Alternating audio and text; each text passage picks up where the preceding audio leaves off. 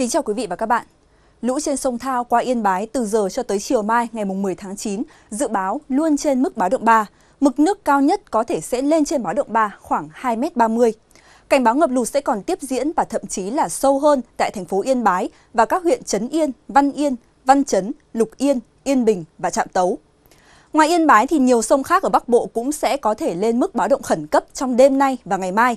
Cụ thể, lũ trên sông Cầu qua Bắc Ninh sẽ lên tới mức báo động 3, còn sông Thương qua Bắc Giang và sông Tích, sông Bùi qua Hà Nội sẽ lên trên mức báo động 3.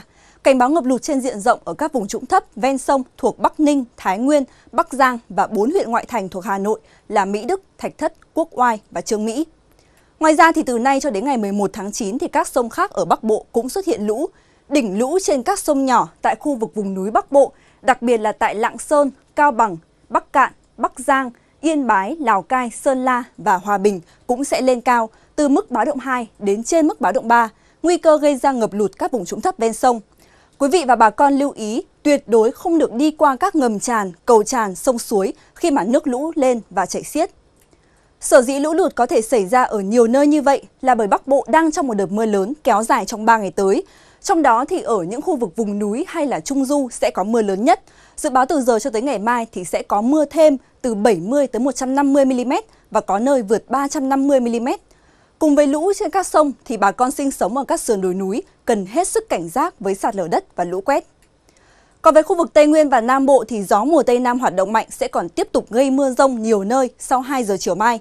Cảnh báo vẫn sẽ có những điểm mưa to có thể vượt 60 mm, đề phòng xảy ra ngập úng cục bộ các vùng trũng thấp, khu đô thị và nguy cơ có lốc, xét, gió giật mạnh nguy hiểm. Trong khi đó ở Trung Bộ thì nhiều nơi cũng sẽ có mưa, như là từ Thanh Hóa trở vào đến Hà Tĩnh sẽ có mưa bất chợt, có nơi mưa to. Còn lại các thành phố khác thì chủ yếu là có mưa về chiều tối.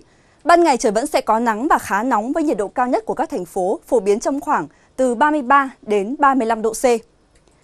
Trên biển thì nhiều vùng biển sẽ có mưa rông, trong đó thì quanh hai huyện đảo Hoàng Sa và Trường Sa cảnh báo có mưa rông, dễ tiềm ẩn với lốc xoáy và gió giật mạnh. Cuối bản tin sẽ là phần dự báo cho các thành phố trong đêm nay và ngày mai.